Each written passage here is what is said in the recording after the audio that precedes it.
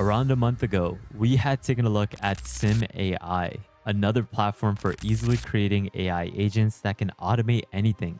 In a way, it's like an open source n8n alternative that's simpler to use, very similar to n8n, but not as technical. But some people are looking for a technical and easy to use balance, which is why today I'm back to showcase a new alternative to both n8n and Sim AI, a workflow automation and orchestration tool that's open source, fully local, and seriously powerful. It's called Kestra, a fast, scalable, declarative AI native orchestration platform where you can practically automate anything. You may be wondering what makes Kestra different from something like n8n. Well, unlike n8n, which is an integration first with a node based UI, Kestra is orchestration first, which is bringing infrastructure as a code to data pipelines infra, as well as event driven workflows so you can build reliable automations and a few lines of YAML right from the UI. And you can even have AI take on this task of doing it for you, which is pretty easy and simple. For example, let's say you got a load of CSV files that would normally take hours in Google Sheet to orchestrate, configure, as well as calculate different sorts of formulas.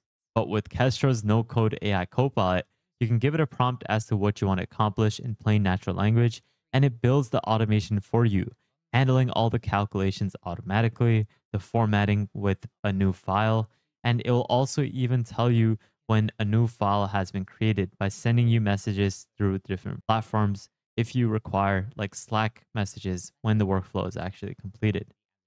And remember guys, Kestra is open source and fully available locally. It's a platform that blends code flexibility with a no code UI, and it's super easy to get started. You have 950 plus integrations, a lot of different services and APIs available. Uh, you can also configure a lot of things on your own, which is pretty helpful and useful. But to get started, it is super simple. All you need to have installed beforehand is Docker Desktop as a prerequisite. You can install it for whatever operating system you have. But if you are going to be using the Docker method, you can simply follow through with this quick start method, which I'll leave a link to in the description below. There's also a cloud hosted option, but it's paid, I believe. And I don't really recommend you use that because you, if you have the ability to use it locally, much better that way because you can access it for free. So to get started, just make sure you have Docker Desktop installed. It's completely free to install, which I'll leave a link to in the description below. Once you have it installed, if you are using Docker and if you are looking to get started with it, you can easily just copy the script over here, which is a single command that you can run within your terminal. But there's a couple of different presets that you can use if you're on Windows. So if you're using PowerShell, you can use this command set. If you're on Windows and you're using command prompt, you can use this. And if you are on Windows and you're using WSL, you can copy this, which is something that I'm doing. So I'm gonna copy this, make sure I have Docker Desktop running on my toolbar you can check that by opening this up and see if Docker Desktop is running, which it is. And now what we can do is simply open up WSL.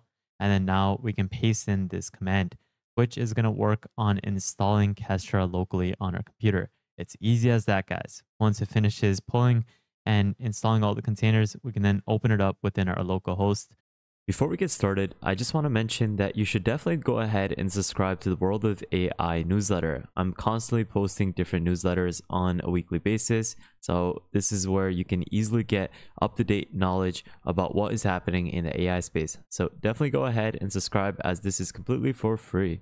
There we go. We have Kestra running locally. Now what you got to do first is just simply create an account so that you can instantly access Kestra locally with your own authentication. So simply go ahead and fill this out.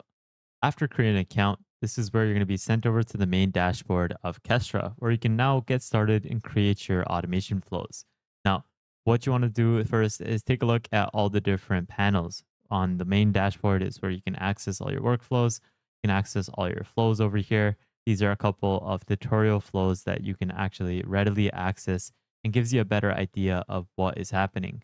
You can execute this AI agent calling flow by simply starting it up, but we're not going to be doing that just yet. You have all your apps where you can build custom apps with Kestra, which is great. You have executions where you can manage all of them, uh, see the total runtime as well as when it was logged. You have a couple of tests that you can visualize, namespaces, the KV store, which is the database, secrets where you can manage all of your environment keys, you have blueprints, which are templates in a way that you can readily access, uh, whether that's running a specific task, uh, triggering something with different automations, and you can even manage different plugins with 713 plus plugins, which is insane. But now on the main dashboard, if you click on create your own workflow from scratch, you can use the tutorial to help you build anything. This is where it's going to teach you what you can do, all the use cases, like where you can build AI agents, business operations, like automation, sorry, uh, business process, data engineering, etc. We're going to go ahead and create a simple AI agent. We're going to click next, and this is essentially the code editor. Now, you don't need to write any bit of code because the AI Copilot is something that you can use. You're just going to need to configure it within the application YAML file by setting your Gemini or whatever provider's API key. And then you can simply use it to build almost anything. But this is where you can visualize the different nodes of your automation on the right hand section. Now, there's also a playground that you can enable, but you can also execute it by clicking on this button, and then you can launch the AI agent that you're trying to create. Now it's going to fail because I haven't set my API key, but then you can start creating your new flows and start building automations exactly from here. But just take a look at this flow that was already created, which is the business automation tutorial. And essentially, this is where it's able to process anything from your working directory, it's going to be able to query it, and it's going to process your CSV file. And essentially, it's converting the CSV data to the Google Sheet that we had showcased at the start. Its purpose is to automate repetitive business tasks like data processing, notification, or approval. And essentially, once you have set the different configurations within the execution and edit flow, you're going to be able to then have it so that you can execute this flow, which is going to automate this process. So if you click on execute, it's going to work on processing the working directory CSV files. It's going to then query their prompt, which is to create a table in this case uh, or delete certain features a part of the CSV file. And then from CSV, it will process it to the Excel Google Sheet. But when you're starting off from scratch, if you're working on the node code section where you're configuring each of the nodes, just simply define the ID of the node as well as the description as to what you're trying to achieve. But within the flow code, this is where you can configure the YAML file with AI Copilot. This is essentially where you can just naturally describe what you want to configure and the AI will basically take care of the task of handling what sort of automation you want to build, code it out for you, and then you can visualize it over here and then try it out within the playground, which you can then run as you execute this task. Here is the data engineering pipeline. Essentially, it is taking in dummy data, and from here, it is processing it by transforming the data into a specific pipeline. But what's happening here is where Kestra is actually fetching the JSON dataset from the remote API. And its purpose is to basically simulate ingesting raw data from external sources like this dummy JSON website. And from here, it is then transforming the data, which Kestra does autonomously with the AI agents. It runs a Python script inside this temporary Docker container.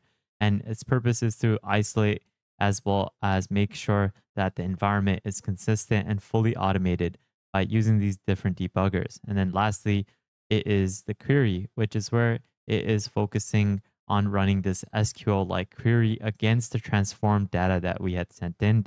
And its purpose is to automate the analytics after ingesting and transforming that data.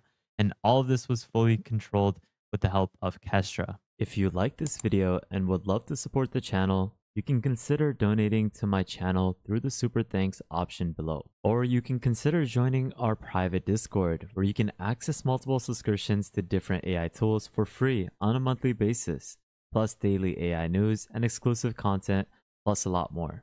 But that was just a simple overview of what Kestra is capable of doing. There's so much more to this, so I highly recommend that you take a look at it with the links in the description below. This is something that's open source, fully local, and it's a bit more technical, but it gives you a lot more flexibility as to what you're trying to achieve with Kestra.